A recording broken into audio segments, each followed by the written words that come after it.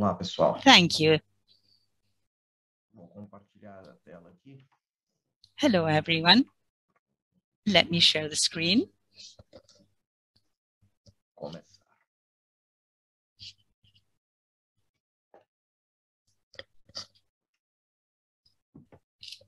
Tudo certo?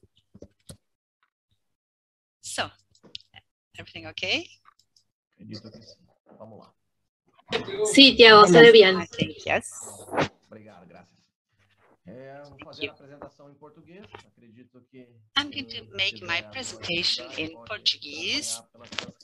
I think that those of you who might find it difficult to follow me can use the interpretation into Spanish and into English. I will be speaking about 400 giga ZR, the holy grail of optical communication. I will be sharing a couple of concepts with you on this technology and which are the advantages it has in terms of changes for those who do optical network operations or those who do transmission and data transmission over long distances and over short distances.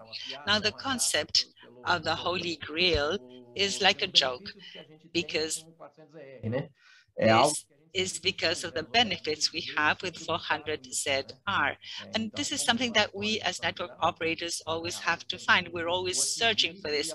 So it's like the story uh, of the Holy Grail. We always seek to achieve something and technology today allows us to reach a point in which we can say that we are at the state of the art. This complies with all the requirements and we can even find all the, the meet all the challenges of the network operators with this technology. Now, to go into the details of 400 ZR, let me tell you about the 400 giga speed. This is a transition to new speeds, to new capacities. This is the table of March 2019, which shows the adoption year after year of a great capacity.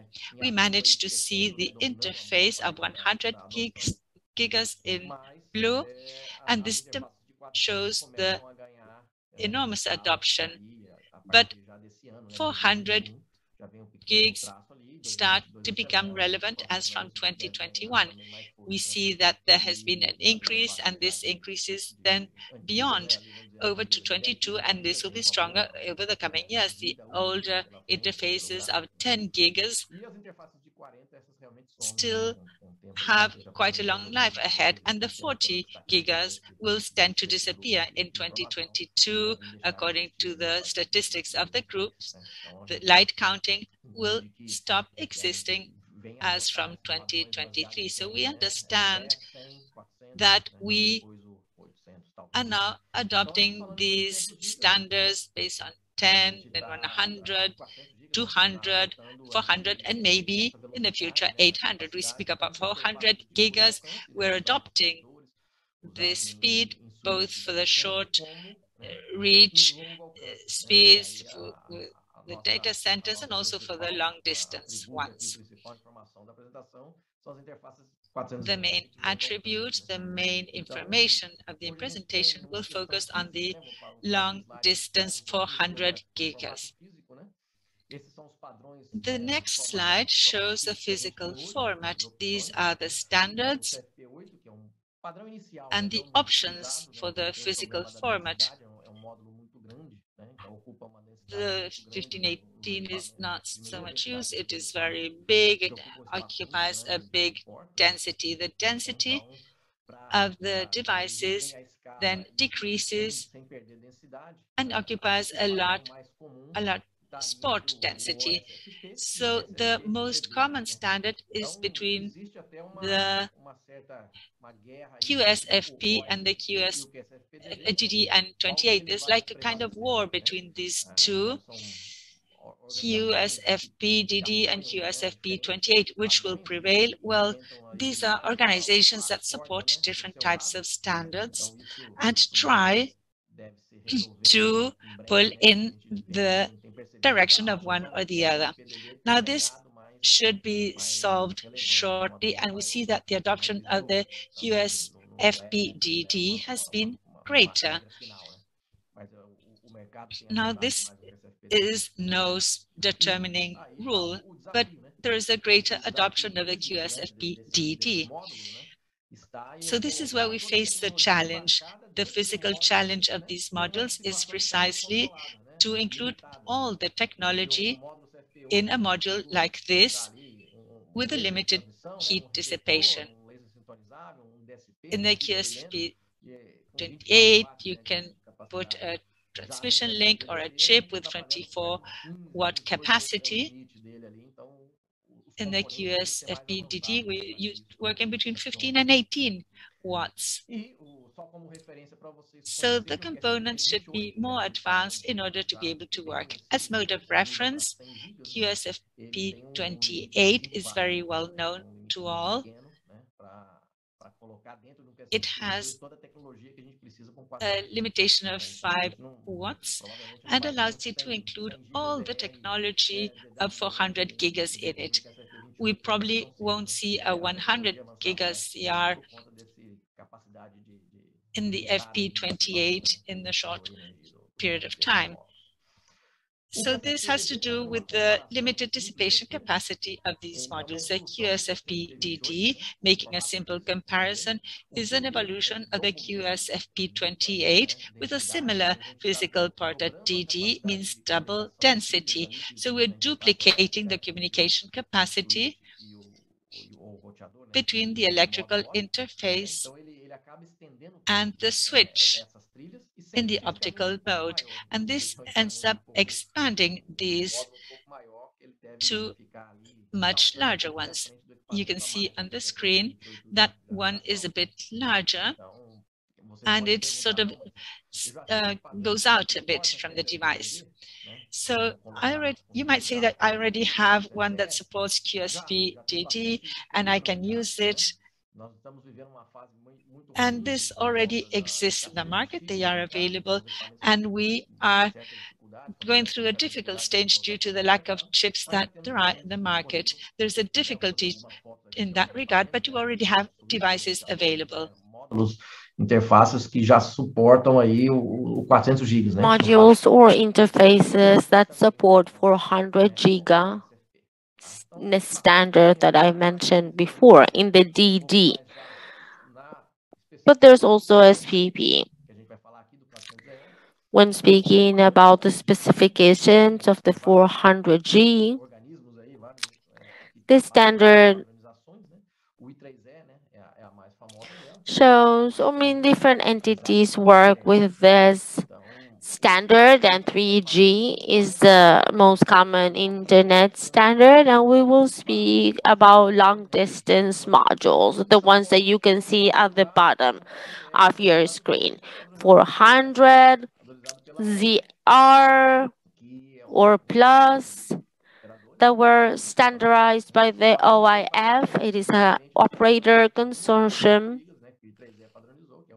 that standardize the 400ZR different. These are different from the others that we can see on screen as well, like the 400, for example. IEEE also has a new standard trying to extract 400 ZR doesn't have a G for giga. That is the name of this standard. So the standard from IEEE will be this one. It's still in the works. Speaking about technology, the 400 giga technology,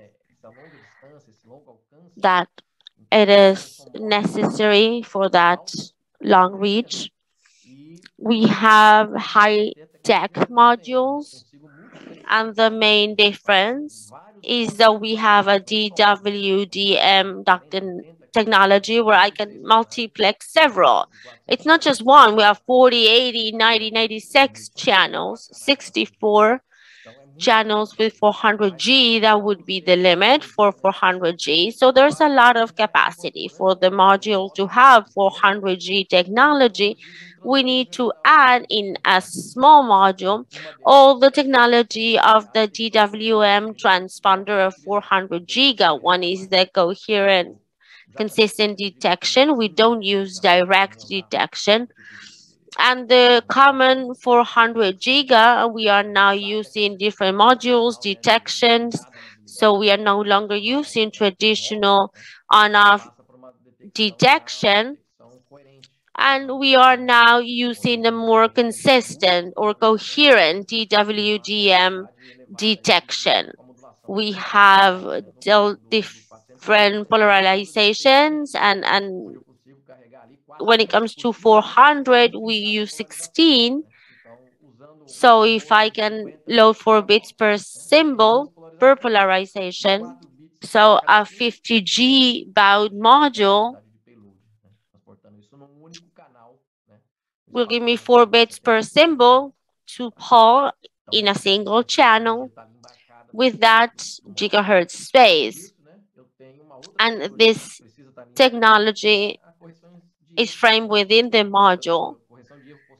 And then we have a forward error correction technology. This is an error correction algorithm that we will have to use to correct transmission errors when the signals exceed 40, 60, or 80 kilometer long distances. So we will find ourselves in the need for this mathematical algorithm for error correction, which is embedded in the chip in that module. It is an additional technology that uses power and will have to be available for us to transport our uh, 16 kilometer modulation over a long distance. So the error correction is that you are going to transmit in inverse bits, it should arrive as zero, but it just has one.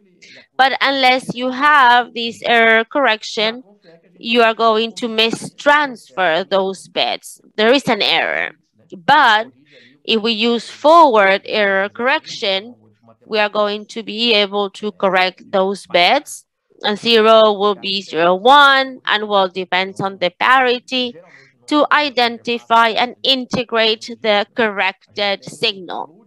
So in a 400 giga interface, we will have a payload of 400 giga, but the header is a, a little bit larger. We could transport 500 gigabits per second because the rest of the header is used for the mathematical forward error correction operation. So we have to go into the module, which is very small if we compare it to a traditional transponder. We already have 400 giga transponders. So we have the chassis, for example, or the DCI, or even the CFP2, where we can deal with 400 giga and the technology uh, challenge here, and that's why we speak about the holy grail, is how do we put all of this technology that we have available in a huge transponder that will take up half a rack? How do we manage to put this all in a small module without losing density? So in here, I have to manage to put all of this technology together. You can see a picture on screen. You're going to have a transmission laser and a DSP. It's a chip for digital signal processing. That's a DSP to have a chromatic dispersion compensation, the forward error correction calculation to work with our router the DSP is the big challenge that we have ahead. And to really have the physical space to do it and low energy consumption to use this in a 15 watt capacity module. So getting here, we were able to get here was thanks to the, lithography, uh, the chip lithography evolution. And here we have a picture of its evolution. So we started with optical components, this DC PU, silica. You're able to use many transistors for a small space and a smaller space and really lower energy consumption. At the end of 2019, 2020, we started to see the 7 nanometer technology, a very, very small chip, high power chip, where we managed to put a really tiny silica for all of the technology that we need for a 400ZR. The modulation, error correction, and everything I mentioned before. The entire spectrum. And this was all necessary to integrate it and come up with this ZR module without a reduced computing capacity, considering that we have a reduced space.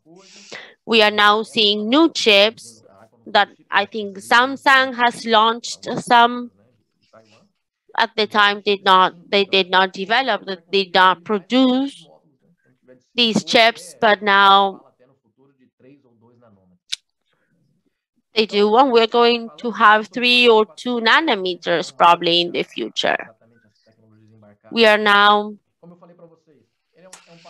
well, we were speaking about the ZR technology, and as I said before, this is a standard defined by the OIF to use 400 giga in long distances. Transportation in going from the inside the data center interface, go across the city, go across a metropolitan region of about 40 to 80 kilometers. So we are sort of abandoning the more traditional model with a switch and a router, a transponder, and that transponder in turn had also a role in the optical network. So we are now using a 400ZR module directly integrated to the switch or router, and there's no longer a need for a third device. The 400ZR is directly connected with the dark fiber and we have a larger reach capacity. We're speaking about 80 to 120 kilometer, but of course this will depend on the fiber. Some are better quality than others and we might have a larger, a larger reach. So without an amplifier, we're speaking about 40 kilometers in the default method with the technology that we showed you, FEC, the error correction, the type of frames used, and the 400ZR standards already been adopted by Microsoft, Google. It's gone through the testing and study stages, and it's already been published. Some examples for use. We have a direct channel 40 uh, at about 40 or 50 kilometers tops depending depend dependent if there it's amplified or not or we could also use a DWDM network with an amplifier and in that case we could reach 80 to 120 kilometers.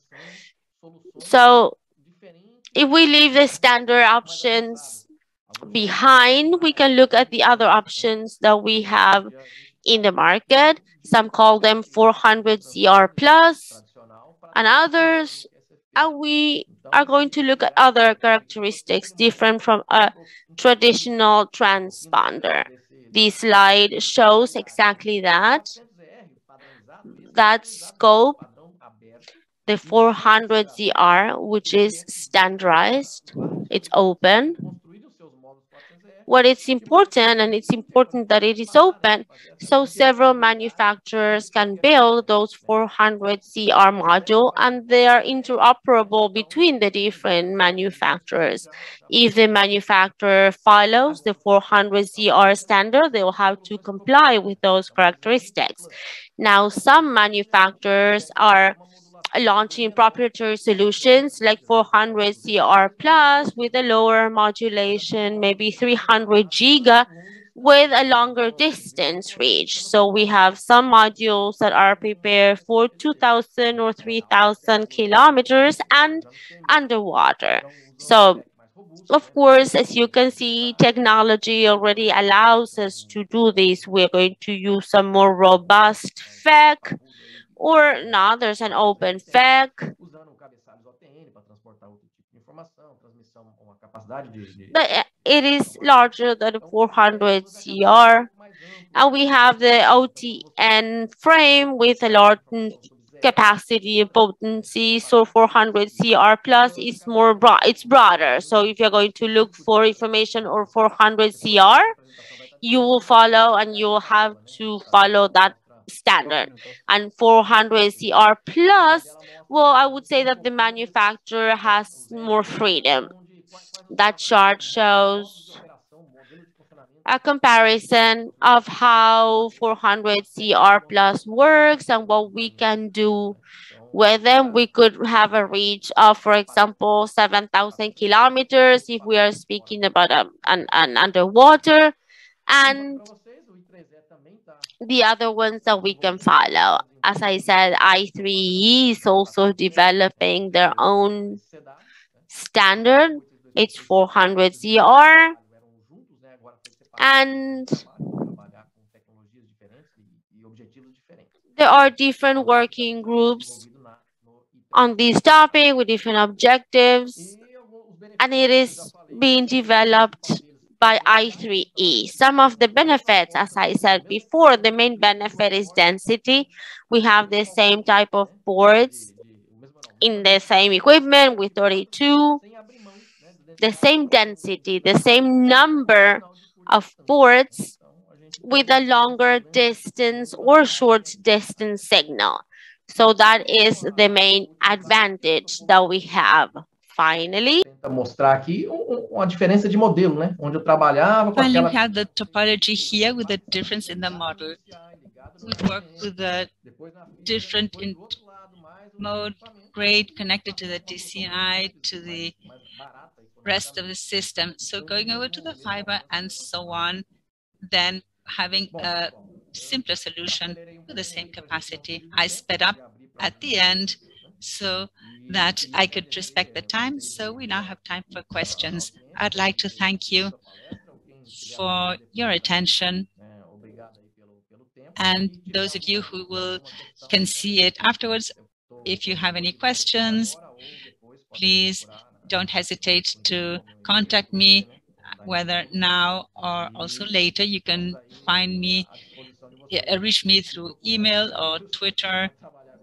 So I'm at your disposal. I'm looking for engineers to work with us using these types of technologies. Thank you, everyone.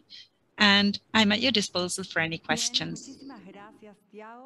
Thank you, Tiago, for your presentation. We now will have a couple of questions so that you can ask questions through the Q&A panel. And for those who are joining us for the first time, let me remind you that you can find the Q&A box at the bottom of the platform. So you can write your questions in that section. Any query, questions you might have regarding this presentation, please take this opportunity so that Tiago can answer the questions directly.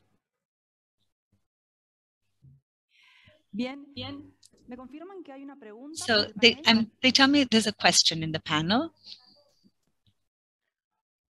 Hay una pregunta. Yes, there is a question from Familia Raimundo.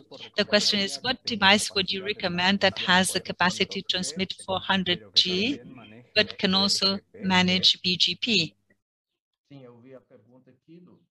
Yes. Thank you, Raimundo. Normally, These are devices which are routers that do that action. You will be able to find in the market switches for 400G ports, but in general, these switches are limited in terms of the protocol or the capacity, the route capacity. So to have a BGP port with 400 giga routers, you have to use those of the main vendors, Cisco, Juniper, and so on. So all vendors are having difficulties to manufacture because of the chip problem, but the devices have already ex uh, already exist existed for some time now. There is a question from Guillermo who would like to know if we can specify what optical connectors can be used with these modules.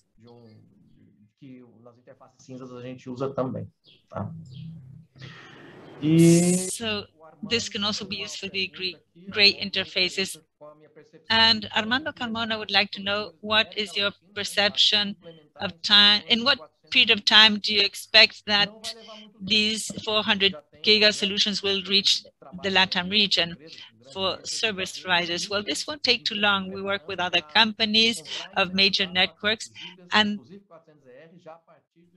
this will not take too long. Even the 400 ZR will be available since 2022. Maybe in the first quarter of 2022, we'll have networks that will be using these 400 giga networks. The 400 GR, uh, 400 GCR can already be in production in the first quarter of 2022. But this will happen gradually. We will start to see better speeds as from 2022, maybe in the second quarter descanalizar os 400 gigas. Não, essa interface ela é uma interface so, 400 gigas, né? Fechado, né? To what extent can you de-channel the 400 gigas? Well, normally this is close. It's 400 gigas, complete 400 gigas. So this is linked to a switch, to a router, and there you get the 400 giga packet, and there you can divide it. So the 400 is a closed channel. They are not subdivided then. Thank you, Tiago. We have no more questions in the Q&A box. So thank you for this excellent presentation.